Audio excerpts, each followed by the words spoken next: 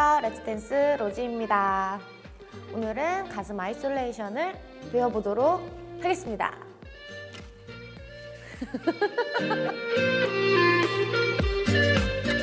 오늘 가슴 isolation을 연습할 수 있는 방법을 두 가지를 알려드릴 거예요.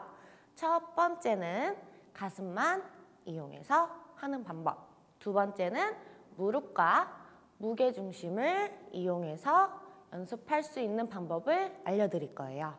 일단은 첫 번째 말했던 것처럼 가슴만 이용하는 isolation을 먼저 해볼게요. 잘 보이려면 은 일단은 옆으로 측면을 바라보고 서주세요. 이 상태에서 다리는 가만히 있고 상체, 가슴만 앞방향으로 가는 거예요. 쭉 그대로 앞으로 보내주시는데 얘가 윗방향으로 가는 게 아니고 정확하게 앞으로 나갈 수 있어야 돼요. 음, 도움 줄 수 있는 방법은 손바닥으로 허벅지를 반대 방향으로 밀어줄 거예요.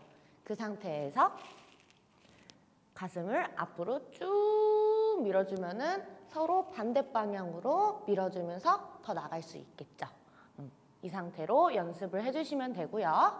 이제는 뒤로 한번 밀어볼 거예요. 스트레칭 해주시듯이 쭉 늘려주시면 돼요. 그러면은 내 가슴도 안쪽으로 들어갈 수가 있어요.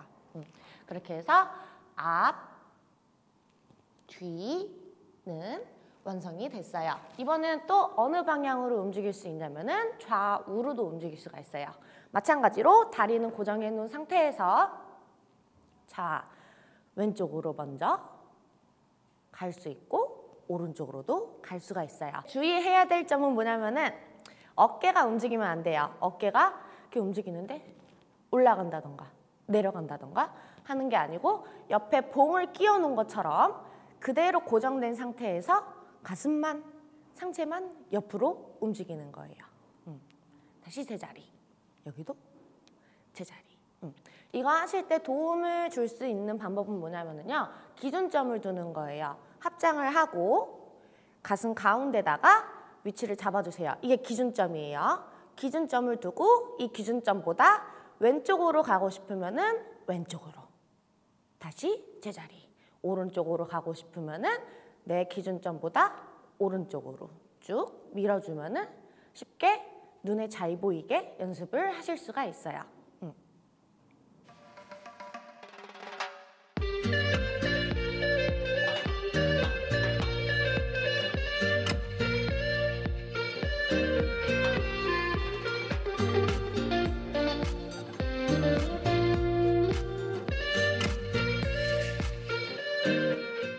음. 이제 두 번째 방법이에요. 두 번째 방법은 가슴을 움직이는데 조금 더 쉽게 더 많이 움직여 보일 수 있도록 하는 방법인데요.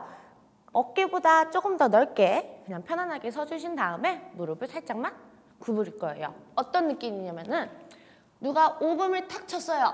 그러면은 탁 이 정도로만 구부러지겠죠. 무릎만 탁. 음, 엉덩이를 빼면서 앉는 게 아니고 무릎만 살짝 구부려주는 거예요. 음. 이 상태에서 가볍게 가슴을 앞으로 최대한 쭉 밀어주는 거예요. 그 다음에 뒤로 한번 다시 쭉 밀어주고 음. 그러면은 내 무게중심을 이용해서 앞으로 더 나갈 수도 있고 안으로 더 밀어넣을 수도 있고 해서 아까 처음에 가슴만 움직였을 때보다는 더 크게 움직이는 거를 느낄 수가 있어요. 음. 이번에는 좌우로 한번 해볼 거예요. 무게중심이랑 같이 이동을 해볼 건데요. 그냥 처음에는 가볍게 무게중심만 이동해 볼게요. 왼쪽으로, 오른쪽으로. 왼쪽으로 갔을 때 내 오른쪽에는 무게가 거의 없어요. 반대도 마찬가지로. 음. 이 상태에서 무게중심 이동한 다음에 내 상체를 옆으로 쭉 밀어주면은 아까 그냥 가만히 있었던 것보다 훨씬 더 많이 가죠. 음, 그래서 연습을 하실 때 좀 지루하지 않고 내가 마, 몸이 많이 움직이니까 연습에 재미를 붙일 수가 있어요. 반대로도 마찬가지로 무게중심부터 이동. 그 다음에 가슴 옆으로 쭉 밀어주세요. 이때 마찬가지로 어깨 일직선 신경 써주시고 밀어주는 거예요. 어, 근데 중요한 거 한 가지는 뭐냐면은 무게중심 이동할 때 무릎이 바깥쪽으로 가면은 무릎이 많이 아플 거예요. 그래서 무릎이랑 발이 앞쪽을 보게 만들어준 다음에 무게중심 이동, 그 다음에 가슴 이동. 응. 이게 이제 따로따로 잘 되면은 한 번에 쭉 응, 옆으로 밀어주시면 됩니다.